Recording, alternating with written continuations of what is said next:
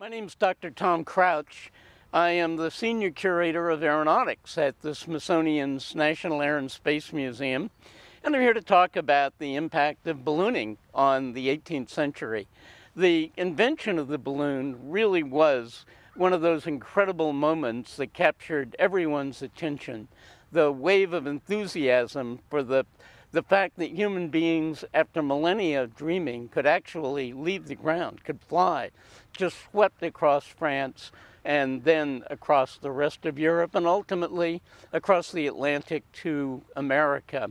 The balloon excitement began with a pair of brothers, the Montgolfier brothers, paper makers from Annonay, a small town in the Ardèche in the south of France, who flew their first small balloon on June 4th, 1783, from the town square of Annonay. They weren't using hydrogen in their balloon, they were flying hot air balloons.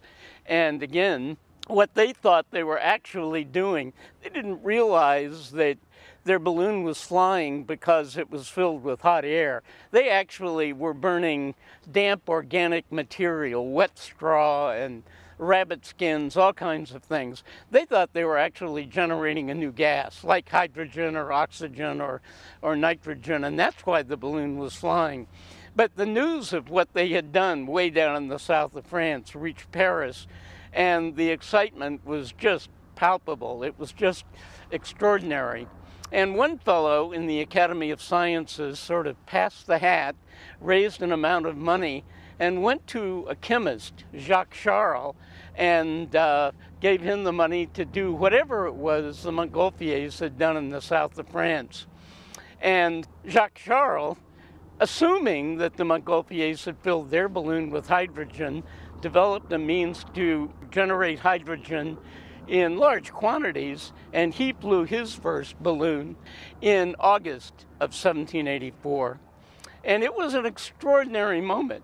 Uh, Parisians turned out in droves. One estimate is that the crowd for that first balloon flight in Paris was half the population of the city of Paris. And an extraordinary number of extraordinary Americans were there that day as well.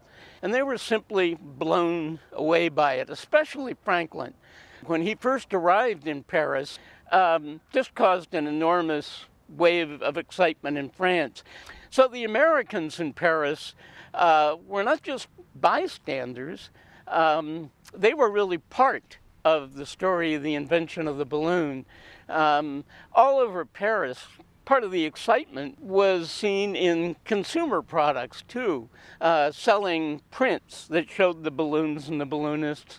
You could, 1783, 1784, put the image of a balloon on a snuff box or a needle case or virtually any small consumer product, personal product, and it would sell like hotcakes. And so the balloon, in the very beginning, had a special psychological place in the hearts of Americans. And in fact, over the next decade, balloons would sort of become the symbol of change, the symbol of revolution, and what was happening in, in the world of politics and society.